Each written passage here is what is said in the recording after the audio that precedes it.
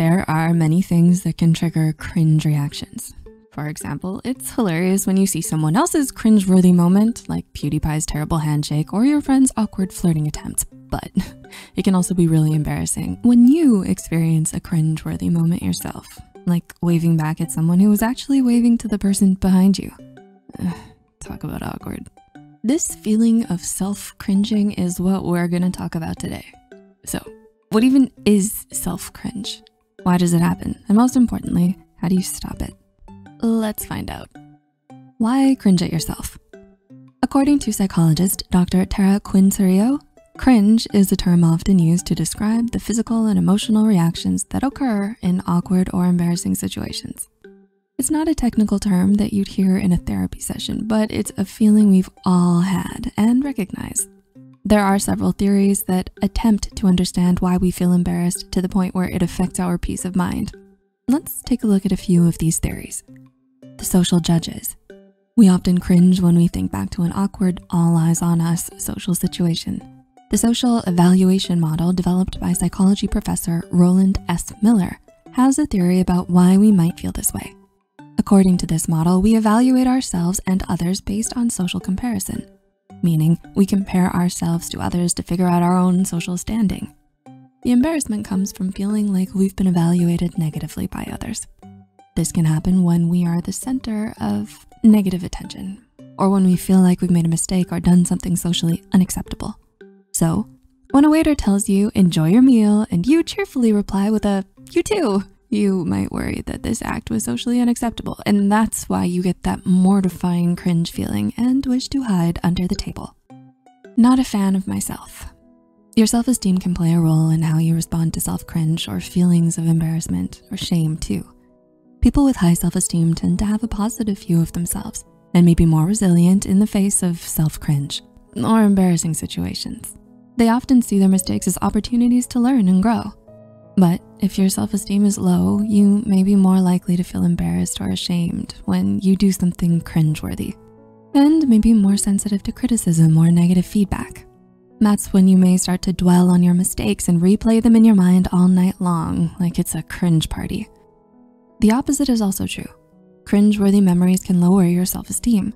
A 2002 study published in the British Journal of Clinical Psychology found that when individuals experience shame, they might feel like their whole person is suddenly devalued, which lowers their self-esteem.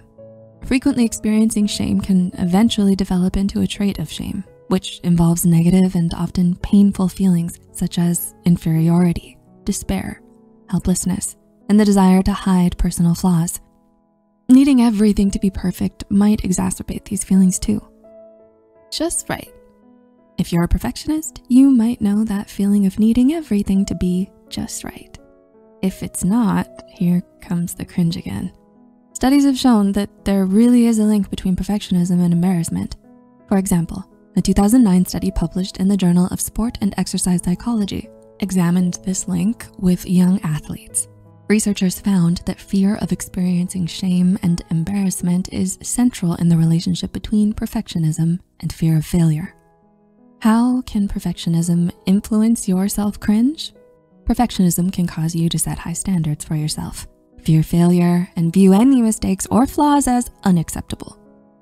When you are unable to meet these standards or experience failure, you may feel inadequate and experience negative emotions such as self-criticism, shame, increased stress, or anxiety. How to stop.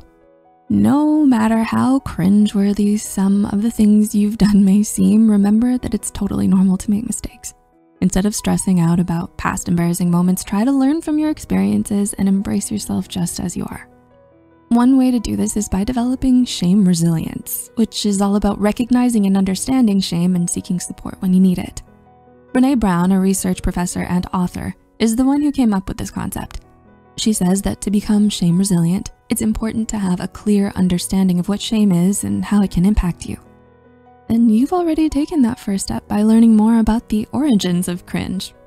Good job. In addition to shame resilience, try practicing self-compassion to help cope with shameful thoughts. A 2018 study published in the journal Mindfulness found that practicing self-compassion can significantly reduce shame proneness, irrational beliefs, and social anxiety symptoms in undergrad students. To practice self-compassion, try writing a compassionate letter to yourself, focusing on gratitude and self-care, and using positive self-talk. But if you're still struggling with embarrassing moments and feel like you can't do it alone, it might be helpful to talk to a mental health professional for some extra support. It's easy to lose yourself in all those embarrassing moments. But if you choose it to be, self-cringe can also be a reminder to be more compassionate and understanding towards yourself, rather than dwelling on your flaws or mistakes. So the next time you feel that awkward, embarrassing feeling, take a moment to reflect on what you can learn from it. Embrace your quirks and remember nobody's perfect and that is totally fine. And don't forget, you matter. Until next time, thanks for watching.